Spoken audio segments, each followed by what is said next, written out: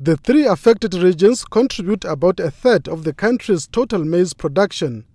This year, the affected areas will produce about a quarter less than their annual production, which is estimated at just above 20,000 tons. The worms comprising of fall armyworm, African bollworm and stalk borer are the main caterpillars causing havoc in the Omusati region, the two Kavangos and Zambezi regions since the outbreak at the beginning of this year.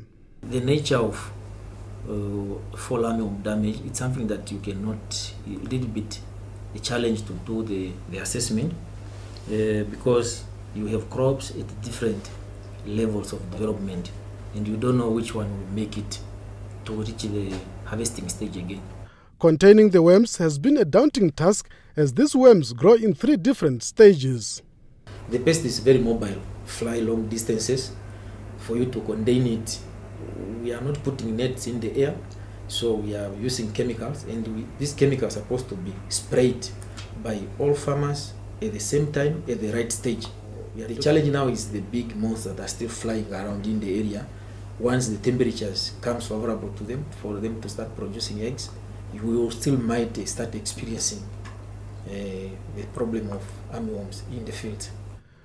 The right stage is when the worms are still young and have not entered the plants where they cannot be reached easily by the chemicals.